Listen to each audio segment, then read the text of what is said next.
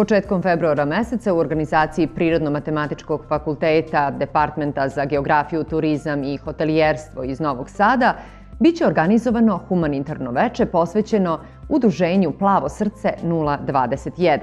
Upriličili smo razgovor o ovom projektu sa doktorkom profesorkom Anđelijom Ivkov-Đigurski i njenim saradnicima.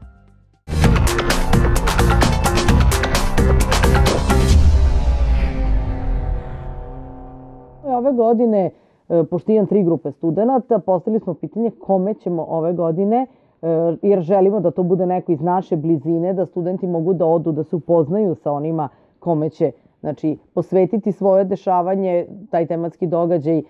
I ja priznajem da sam ovaj preuzela inicijativu ove godine, da sam preko Facebooka, opšte popularno, je tako, preko društvenih mreža, e, preko udruženja Mame Novosađanke iz Novog Sada, dobila predloge da to bude eto, plavo srce, ovaj, i onda sam stupila u kontakt sa njihovim koordinatorima, ovaj, pitala da li se slažu, da li bi prihvatili našu, eto, ovaj, angažovanost u tom pogledu promocije njihovog udruženja i prikupljanja nekih ovaj, sredstava. Oni su to prihvatili, studenti su to jako lepo prihvatili, bukvalno nije bilo diskusije da li će se raditi za njih ili za nekog drugog, tako da eto smo odlučili da to bude plavo srce i puno parom se pripremamo sad znači za organizaciju tematskog događaja, a studenti se već uključuju volonterski da malo pri udruženju pomažu i da se bolje upoznaju sa članovima udruženja. Želimo da im približimo, znači da vide, kako da kažem, kako izgleda stvaran svet jednog dana kad, kad postanu svoji ljudi, kad završe ovaj fakultet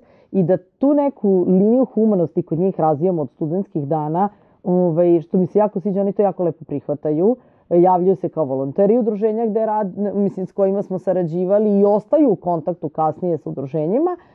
Tako da je to jedan cilj, znači da se kod studenta probudi ta neka humana ovaj, crta, a s druge strane da se promovišu teme koje su kod nas malo zanemarene, kako da kažem, ili nisu dovoljno prisutne u javnosti, znači da putem našeg događaja skrenemo pažnju jer ipak evo i ovo udruženje i neka druga su relativno mlada i za njih se ne zna u Novom Sadu nemaju još svoj prostor ili imaju tek prostor neopremljen, nemaju odgovarajuće uslove za rad. Onda pokušamo da na taj način skrenemo pažnju javnosti na postojanje njihovo, na problem koji postoji, znači i da jednostavno sredstva koje prikupimo usmerimo. Uloga u ovom projektu moja je da budem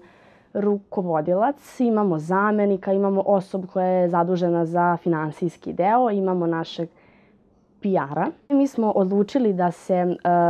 obratimo plavom srcu, jer m, plavom srcu 021, pošto smo čuli dosta o e, njima i nakon dosta smo se zainteresovali da onako malo više uđemo u tu celu priču. E,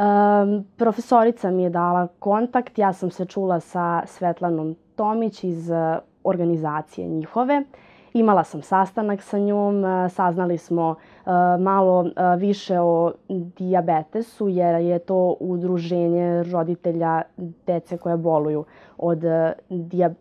diabetesa i naravno malo je zanimljivo pošto smatram da studenti ne znaju toliko sa našeg departmana o diabetesu. Takođe s njom sam pričala o tome šta je njima trenutno neophodno, čime se oni sve bave i šta rade u okviru svog udruženja.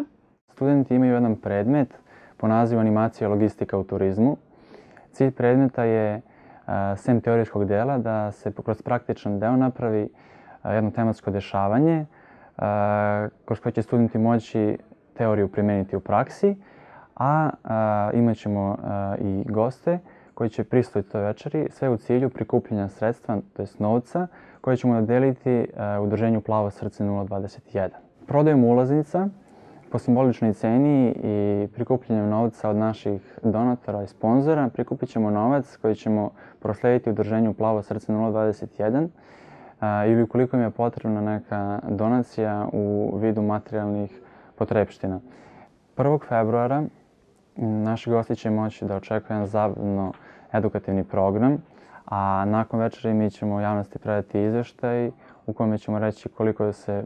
sredstava prikupilo tokom same večeri i doniralo udruženju Plavo srce 021.